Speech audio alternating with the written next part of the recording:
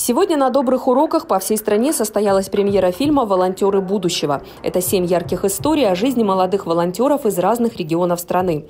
Это картина о детях и подростках, которые помогают сохранять природу, заботятся о бездомных животных, помогают людям с инвалидностью и разыскивают останки солдат Великой Отечественной. Они, получается, жертвовали своими жизнями ради наших. То есть мы должны тратить свои силы чтобы поднять их и спокойно отправить в последний путь. Для каждого из героев фильма волонтерство – это образ жизни. Для многих учеников 8 гимназии теперь тоже. После Олимпиады добровольческое движение в регионе уже объединяет 26 тысяч человек.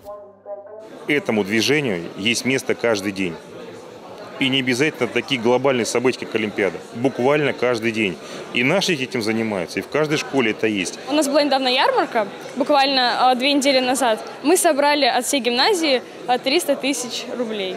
То есть у нас было выбрано три ребенка, которым мы помогли.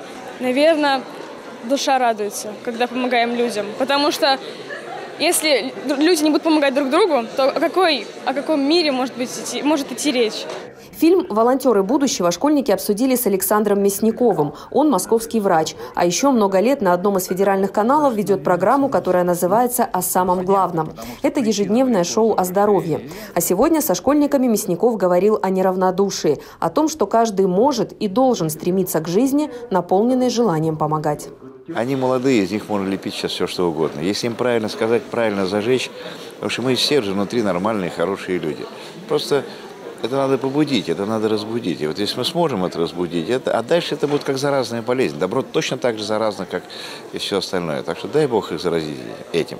Добром на добрых уроках сегодня заразили в 11 школах Сочи. Там занятия провели известные политики, государственные деятели и спортсмены. А вообще всероссийская акция сегодня объединила больше 10 тысяч школ по всей стране. И, возможно, после таких занятий армия волонтеров в России станет еще больше. Галина Моисеева, Ольга Десятова, Николай Тихонов, телекомпания ВКТ.